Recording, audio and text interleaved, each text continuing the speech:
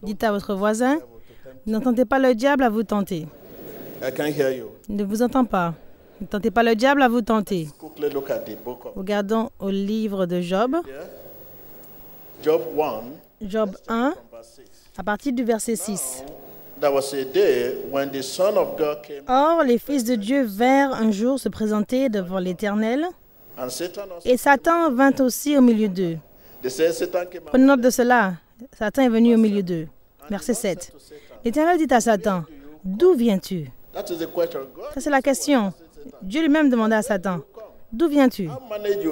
Comment est-ce que tu t'es mélangé avec ces gens-là?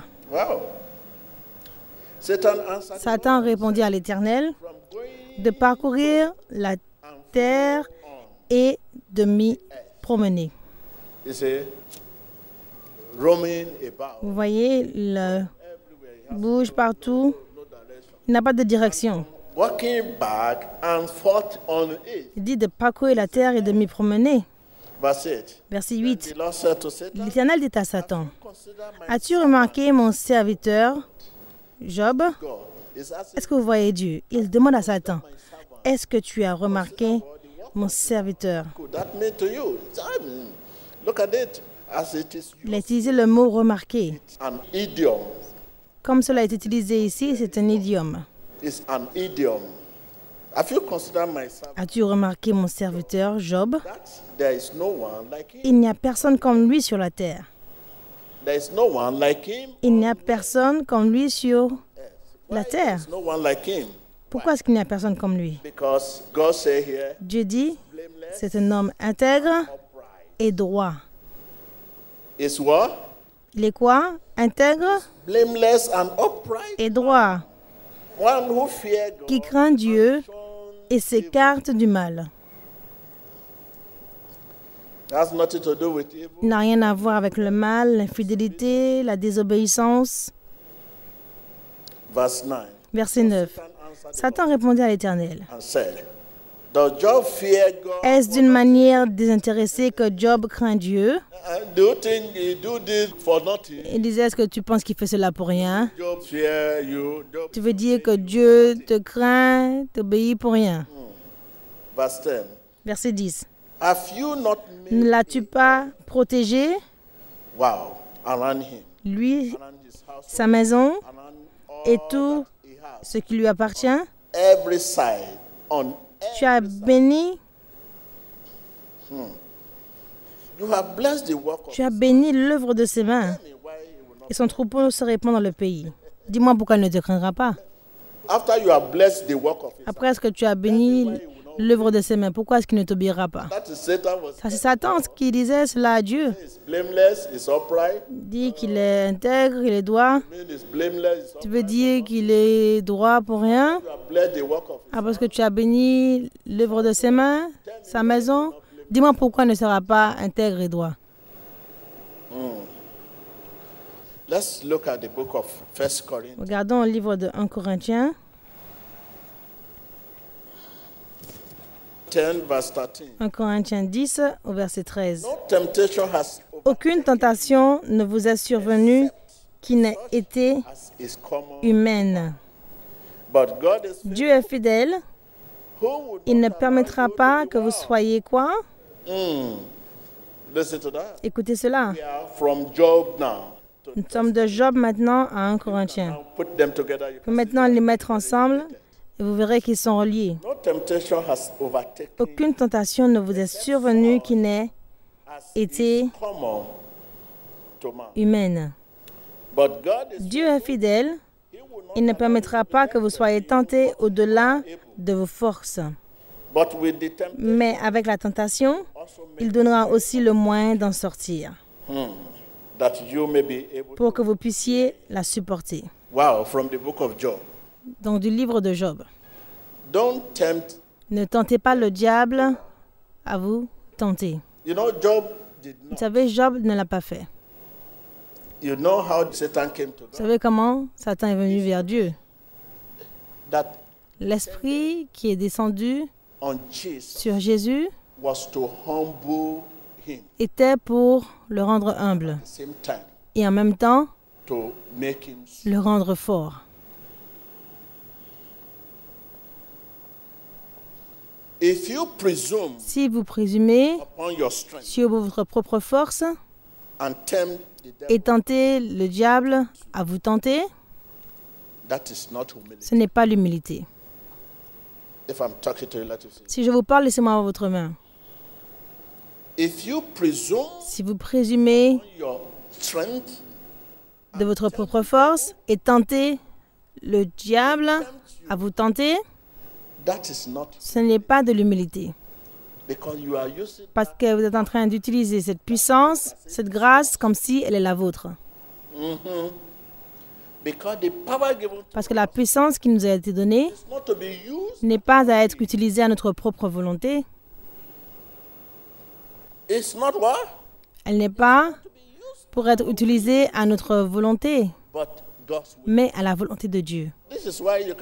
C'est pour cela que vous ne pouvez pas courir vers moi et dire Homme de Dieu, prie pour moi, homme de Dieu, prie pour moi. Si Dieu to your strength, vous laisse à votre propre force, alors que vous priez pour ceux qui sont possédés, You rather be delivered. vous serez plutôt délivré, non la personne pour laquelle vous priez. We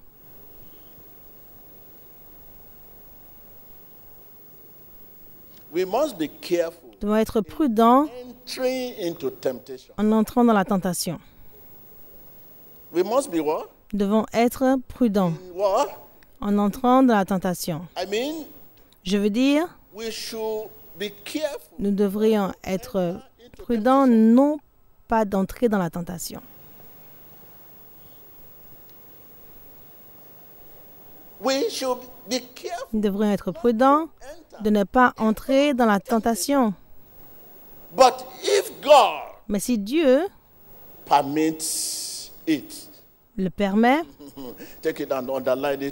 soulignez cela dans votre livre, votre cahier, car cela est étrange pour vous.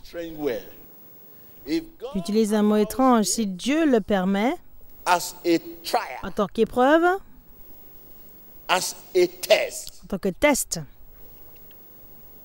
you must not vous ne devez pas penser que cela est étrange et douter de votre gardien. you must not think Vous ne devez pas penser que cela est étrange and doubt your word. et douter de votre garde.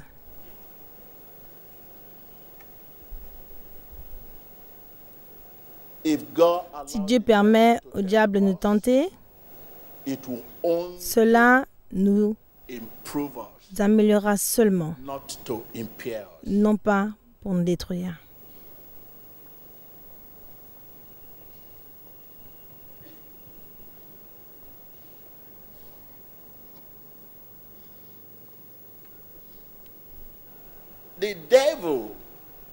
Les épreuves et les tentations du diable ne feront que nous rendre plus forts if God si Dieu le permet.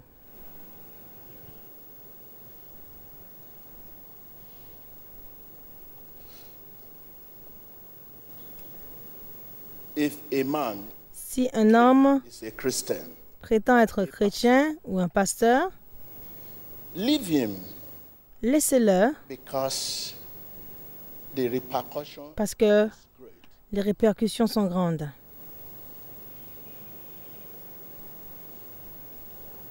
If we say in the name of Jesus Si nous disons dans le nom de Jésus soit guéri and we are not sent, by et que nous ne sommes pas envoyés par Jésus,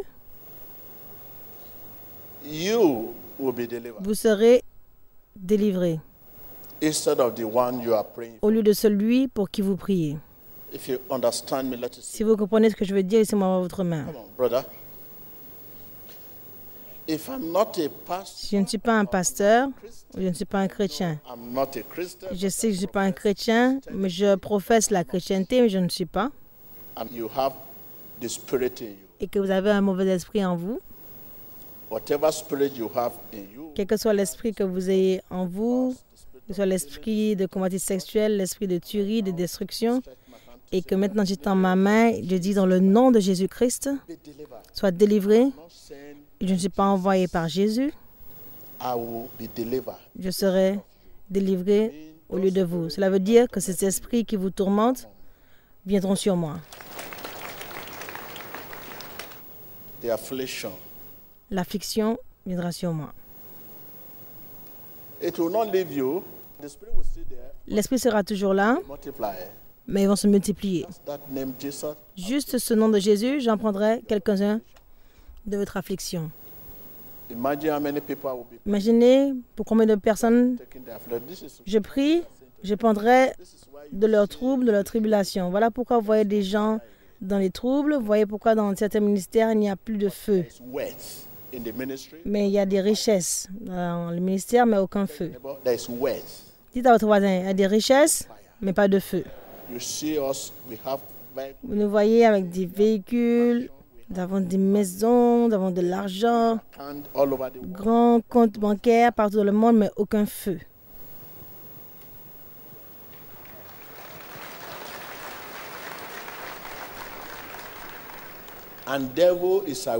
Et le diable est au courant de cela. C'est pour cela que vous voyez attaquer partout. Il n'y a pas de feu, c'est pour ça que vous voyez du feu partout, vous voyez attaquer partout. Ils sont en train de nager. C'est leur saison de récolte. C'est leur saison de récolte. Dites-le à votre voisin. Parce qu'il n'y a aucun feu.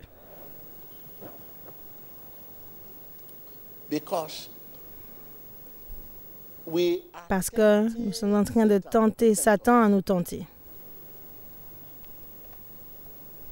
Satan? Comment est-ce que nous tentons Satan à nous tenter?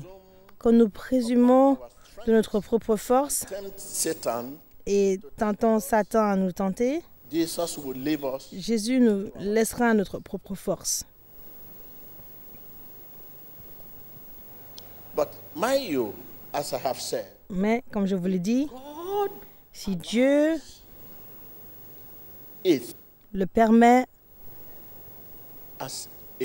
En tant qu'épreuve, si Dieu permet la tentation comme une épreuve, comme un test de foi,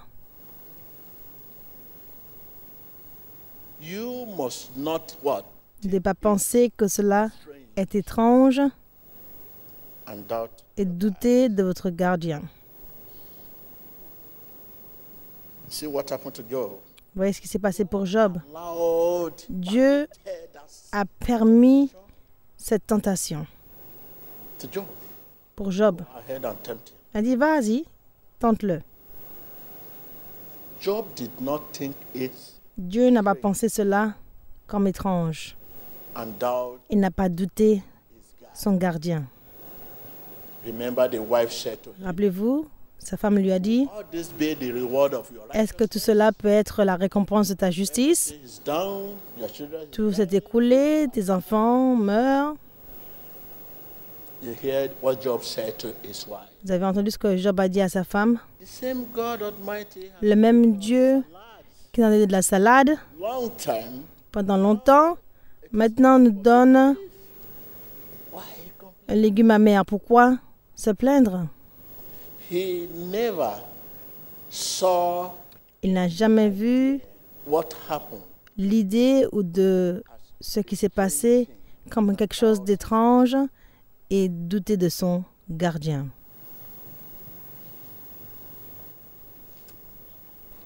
Let's ask ourselves, what is the motive Posons-nous la question. Quel était le motif de Satan? Pour faire les gens pleurer? La plus grande des choses que Satan cherche à tenter les enfants de Dieu, de vaincre leur position, de prendre leur position, de les faire échouer dans leur position. En tant qu'enfants de Dieu.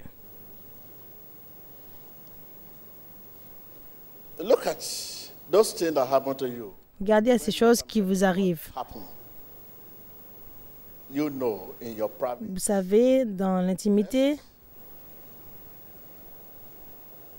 To cut off premièrement, il veut que vous puissiez vous couper your dependence de votre dépendance on God. de Dieu. If I'm talking, let us see. Si je vous parle, laissez-moi voir votre main. To cut off what? Pour vous couper de votre dépendance de Dieu. You begin to say, ah, Commencez à dire, let je sais pas ce qui se passe. hmm.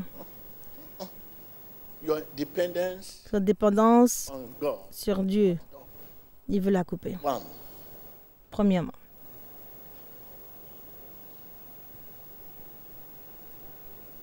You know, in our generation today, Vous savez, dans notre génération d'aujourd'hui, how much we need. nous ne savons pas combien nous avons besoin de Dieu. This, our generation, Notre génération ne sait pas combien elle a besoin de Dieu jusqu'à ce que la situation devienne critique. Beaucoup d'entre nous, nous sommes ici aujourd'hui. Vous pouvez penser à des situations qui nous ont emmenés ensemble. Nous ne savons pas combien nous avons besoin de Dieu. If what you are here for Si c'est pourquoi vous êtes ici is issue you can handle, est quelque chose que vous pouvez régler, vous ne vous présenterez pas ici aujourd'hui. Vous pouvez dire, Ah, je peux le faire. You have forgotten you need God. Vous avez oublié que vous avez besoin de Dieu pour sourire. You need God. Vous avez besoin de Dieu pour fermer vos yeux et ouvrir vos yeux. Vous avez besoin de Dieu pour vous habiller. Vous avez vu des gens qui, juste en s'habillant, comme se sont écroulés, se sont effondrés. Nous avons lu. Quand un collègue a ouvert les yeux, fermé les yeux, il est parti. Avez besoin de Dieu pour vous asseoir. Nous avons vu des gens qui, juste en s'asseyant, c'est la fin de la vie. Nous avons vu des gens, juste en se levant, ils sont tombés. Dites à votre voisin, j'ai besoin de Dieu pour sourire, pour danser, pour regarder, pour dormir, pour manger, pour dire merci, pour étendre ma main, pour m'habiller. J'ai besoin de Dieu. Je sais combien j'ai besoin de Dieu.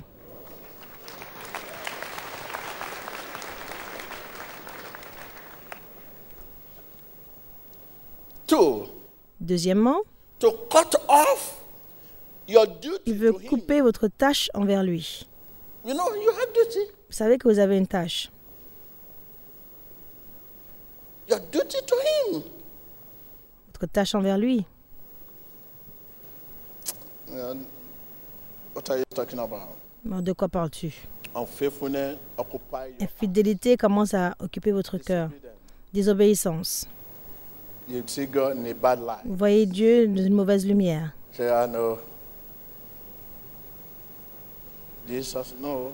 Jésus, non. Troisièmement, pour couper. Votre communion avec Dieu. Votre quoi? Communion avec Dieu. Oui, j'ai prié, jeûné. Quoi d'autre encore? Qu'est-ce que je dois faire encore? Yes.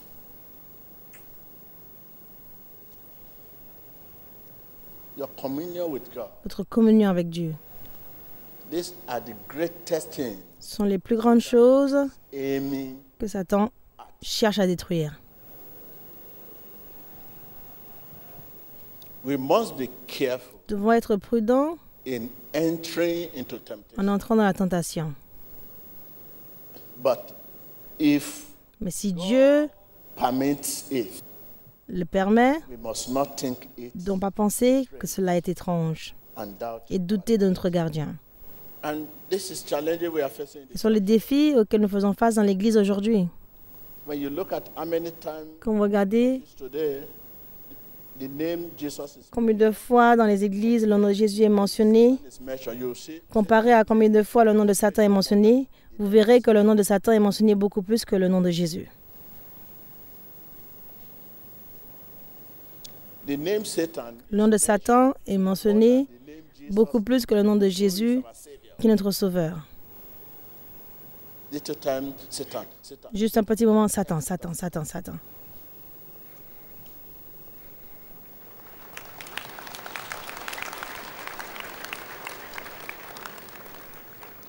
Don't what? Don't tempt Ne tentez pas le diable à vous tenter.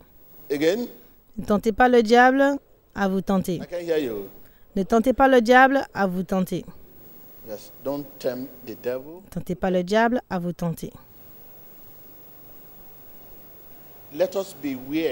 Soyons Au courant de notre fierté, orgueil spirituel, which has been qui the cause est la cause de notre destruction aujourd'hui. l'appelons l'orgueil spirituel. Devons être pride. de l'orgueil spirituel.